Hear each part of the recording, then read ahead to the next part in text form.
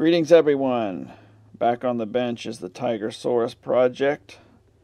I need to get this thing finished so I can work on some other projects like the speaker project which has taken a new direction. So that'll be interesting.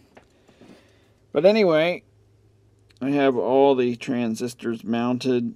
I have little heat sinks on them. So they're not flapping in the breeze. Because the uh, pin out of the transistor doesn't match the hole. I had to use little wires to flip them around. Plus the leads won't fit in those little holes. I'd have to drill them out. I don't want to do all that.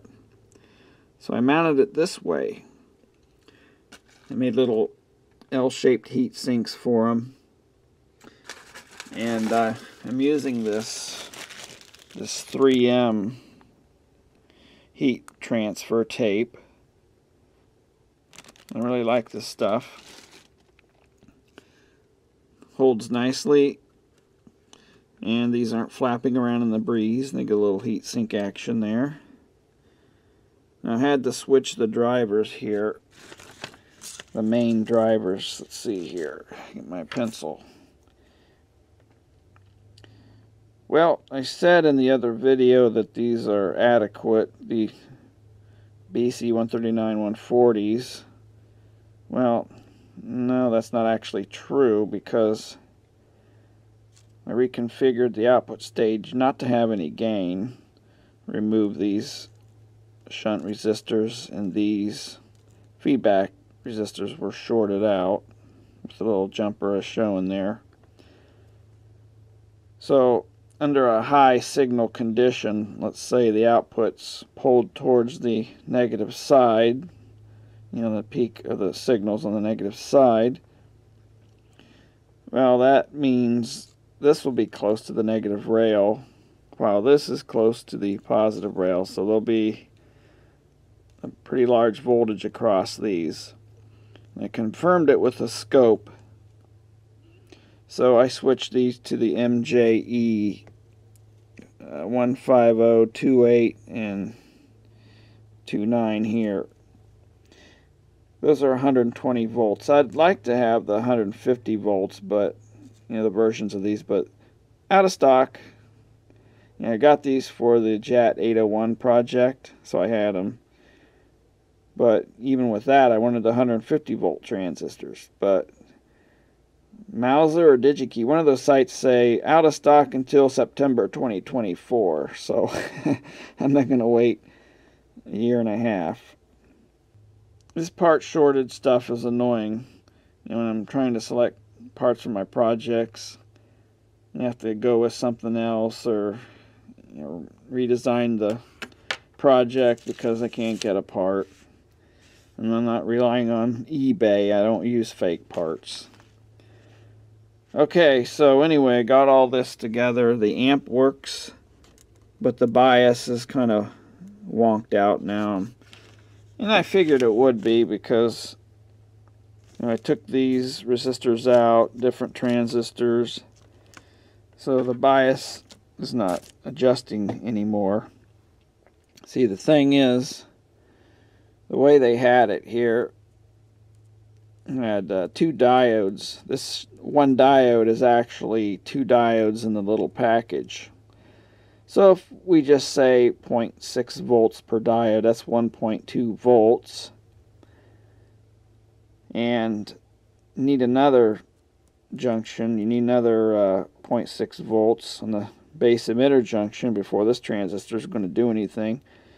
And the way the amp's set up now, you have these two junctions on the upper and lower driver transistor. So that's about 1.2 and this thing needs about 1.8 so it's not going to work. It's not going to regulate. So what happens, the bias, it tries to spread this bias voltage up too much. In other words, turning these on too hard, which causes the bias to go real high in the output stage. So yeah, I have to redesign this. So uh, this transistor's on the board and this one's on the this diode's on the heat sink. So what I'm doing is this is now going to be on the driver It's uh, a complementary feedback pair. You should monitor the drivers in that case. So it can monitor one of the drivers anyway. So I made this transistor up for that. And the wires will just go in the socket on the board. Well, in the holes on the board. So instead of a diode, it'll just be the transistor. And um, figure about 0.6 volts per side. So I'll put a 1K here We'll have the 1K control here. I need to raise that to about 1.5K but give a adjustable range here. So I think that'll do it. I don't know how well the uh, tracking will be, but these uh, power transistors tend to have a lower base emitter voltage. So yeah, we'll see how it goes here. Okay, the little transistulator is in. I don't have it mounted to anything yet. Just want to see how it works. Got the resistors in. If I didn't mention before, all of these front end transistors were replaced along with the voltage amps and driver. Okay, we're set at plus minus 15 volts, 1 amp current limit. Let's see what happens.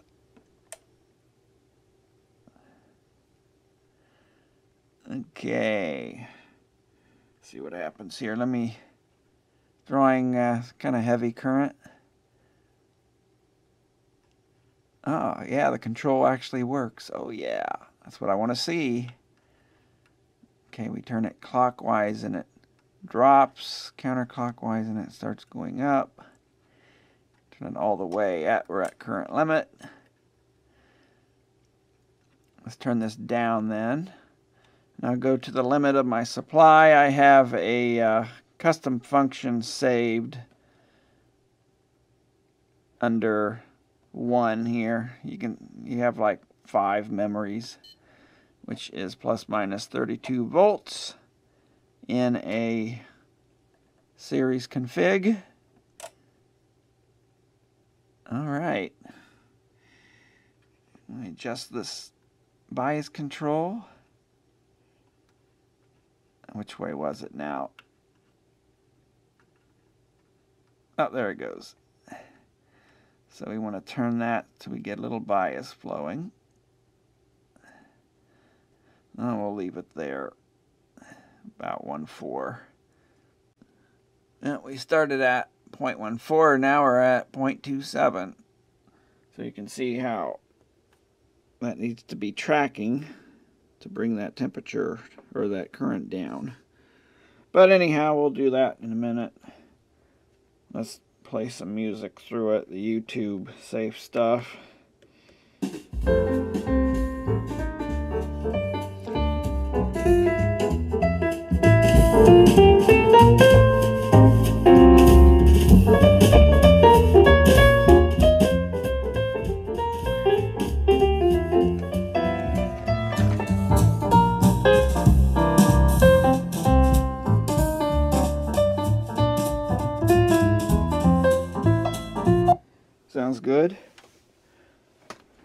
Go through a bunch of tests, but first I need to mount this to see how the tracking is. It's no good if it doesn't thermally track. Okay, I mounted the transistor on the driver heatsink. And it's been running. I left it go for an hour and rock steady. Rock steady bias. That's what I wanted to see. I played some music and let it set. And yep, staying good. So I marked the changes up here. So yeah, this schematic's getting marked up pretty much. A lot of changes and things.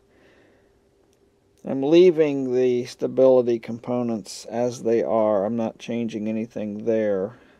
If it works, great. Leave it alone. But if you were more adventurous than I, you could change those. Do Miller compensation or something like that. Okay, rechecking the stability here. Oh, great. Right in a frickin' glare. It does have the input filter in, so it slows down the 10 kilohertz square wave, but I don't feel like unsoldering parts. But at least it's stable. You have the capacitor, 0.1 microfarad. I'm considering that now my standard test and I sweep the waveform from low voltage to high voltage. 4 ohm, 8 ohm. So yeah, this is so far so good. Will it work at full rail voltage? That's what we need to find out. Turn this on 4 ohms. Let it warm up a bit. Just another thermal test here. Running the square wave at about half the voltage level. That should get the outputs hot. Getting nice and toasty now. So if I turn off the FeelTech here, we'll see how the uh, okay it went up so we'll just let it set and see if it drops back into line. It should fall back into line as it cools off. Okay that's what you want to see. So we took the signal away and let the amp cool just a bit. The bias fell down right to where it should be and instead of climb up. You don't want to see it climb up that's bad news. So yeah that's good Okay, we're back on shore power now. I do have a 300 watt bulb limiter. And uh, I gotta adjust the bias here. I debiased it a bit. See, there is the notch. I zoomed in on the notch. You tune that notch out. If you put too much bias in it, the bulb gets brighter. See, we want to not have that. So, let's adjust to that notch goes away. Looking good. So I'm going to monitor bias stability. See how this thing works. Make sure nothing's getting too hot.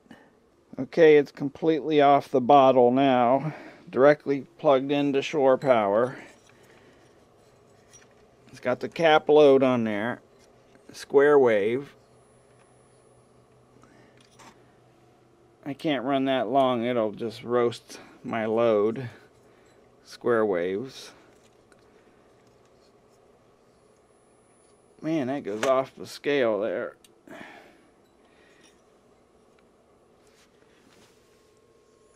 Whoa, that pegs the meter.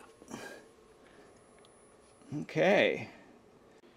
Just letting it bake here. It's been on for about a half an hour. Seeing what happens. Just checking the temperature, did a thermal camera check, make sure nothing's overheating. I did all the calculations, you know, nothing should get really hot. Do a finger test. Being aware that there is high voltage on these rails. Across the rails, it's like 150 volts. Let me turn the signal down. Yeah, sitting idle there with no signal, just under 75 volts. Those are 75 volt caps, I believe. That's pushing it right to the edge. If we crank it into clipping, there's no weird weirdness going on there. Let me read the screen here real quick. Now we're hitting about 41.8 volts RMS. 41.8 squared divided by 8 ohms. Getting uh, 218 watts. So that's pretty good. I expect to give up a little bit since we're not running the output stage with gain anymore because can't force it all the way to the rails. Idle power draw. I have my Kill A Watt set for watts, not volt amps. And it's hovering around 72. So uh, bias stability is rock steady on this thing. It draws 400 watts from the wall at clipping. And it has such a turn on surge that the lights flicker in my computer backup power supply for my computer over there turns on. It clicks on for a second because it draws the voltage down so much. Now I know this part of the house I'm furthest from the electrical panel so I know I get a voltage drop back here. Another part of the house I, I probably get another 20 watts more out of this thing. That's just the way it is with the electrical power. But yeah, this thing is working just fine. I don't see any issues. Just let it bake for uh, a while. Uh, play music through it all day. But I suspect it's fixed and done. I didn't even take the stability tester cap off. It's stable Bias is good, as I say. This thing is rock steady. If the owner wants to replace these bulbs here, they're 28 volt bulbs. You can get the number off the side of them. They're in series, so if one goes out, they both go out. Because it's connected from the center tap to one of the outer taps on the secondary of the transformer. So yeah, the other amp bulbs are out as well.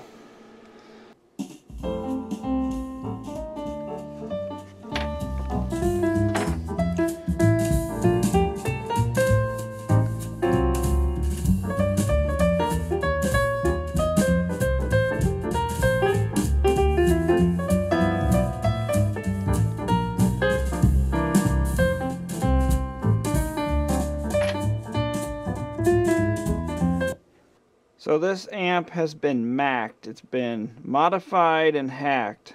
Macked. But it works. That's the important thing. No more oscillation. Good stability. Does its business. So I'm going to consider this one a wrap. That'll do it for this. Thanks for watching.